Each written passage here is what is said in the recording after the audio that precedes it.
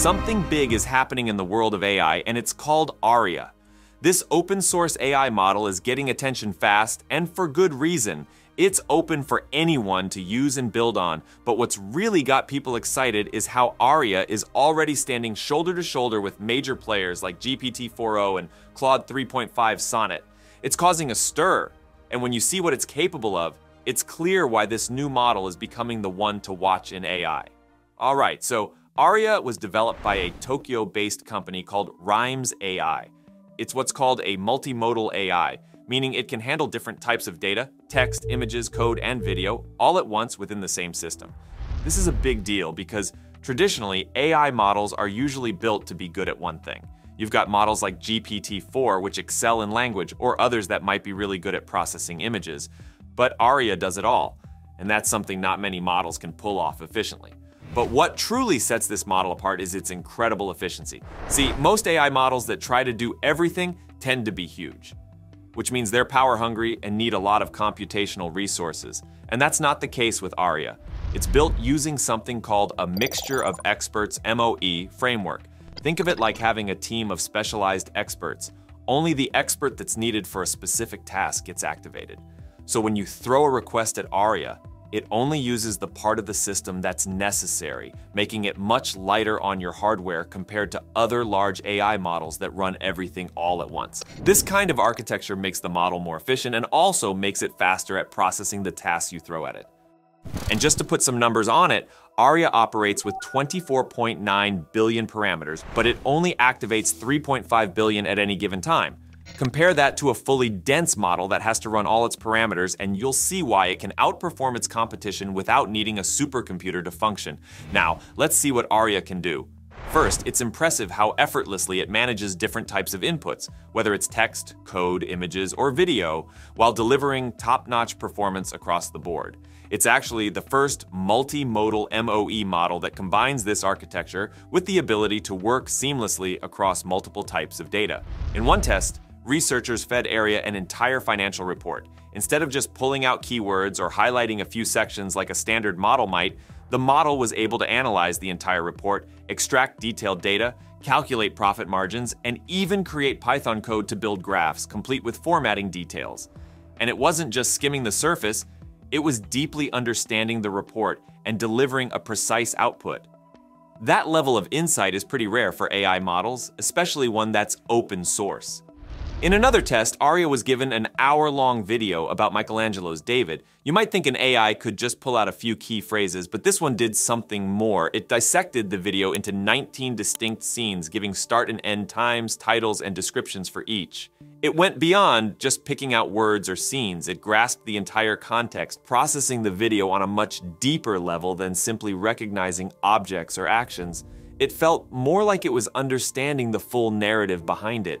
For those of you into coding, Aria's skills shine there too. In one test, it watched a video tutorial, pulled out code snippets, and even debugged the code.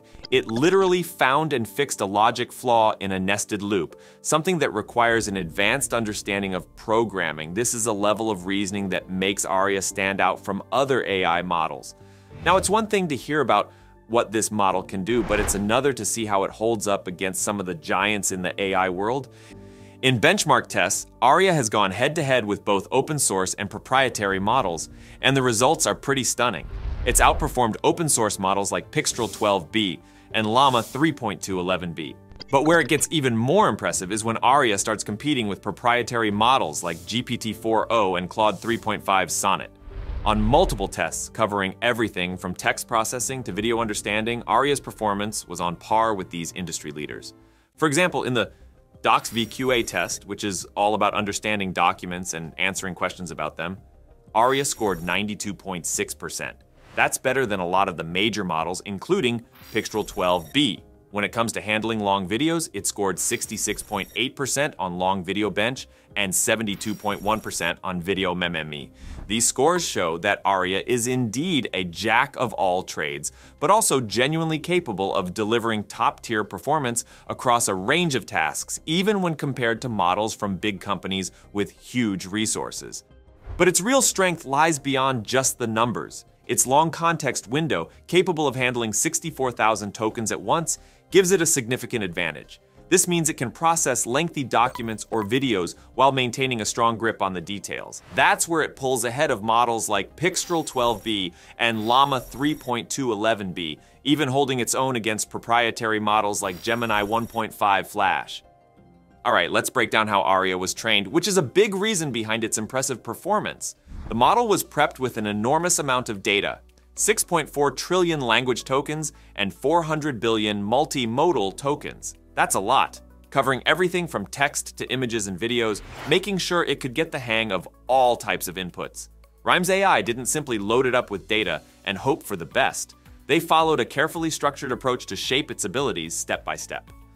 Aria first focused on mastering the essentials through vast amounts of text, building a strong understanding of language.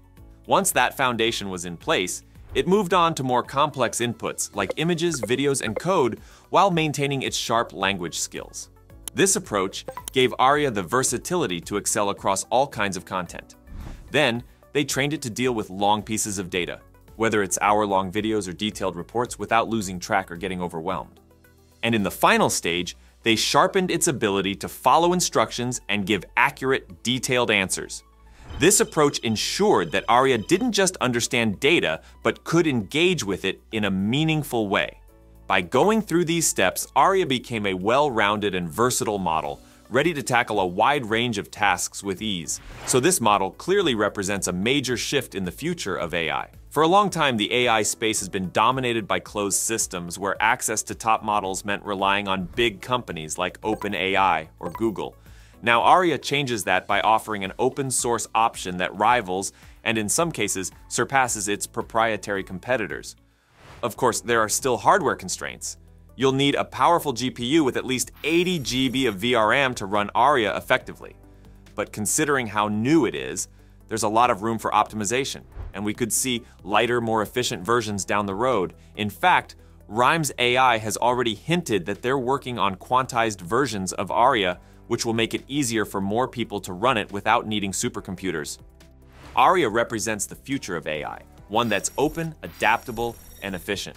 It has the potential to push the boundaries of what's possible with AI, offering developers the freedom to innovate without the constraints of proprietary systems. As more people start using it and contributing to its development, it could become a real competitor to some of the biggest names in the industry.